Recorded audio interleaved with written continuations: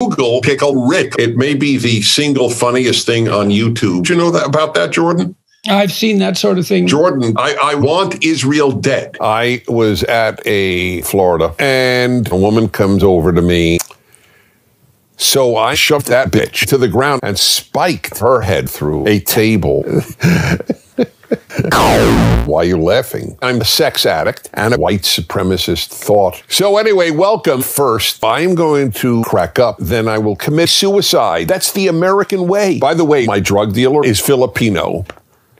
Uh, why are so many young people so young? There is no God, and capitalism is essentially evil. It's fact. I'm Dennis Prager, and I'm going to commit suicide. Number two among us, which is a very sad thing for me to say. It's a very painful subject. I must admit, I have sexually harassed many men. I've talked about this on many occasions. I have sex with men like anybody else. I want to make something clear. There is zero, zero desire in me to have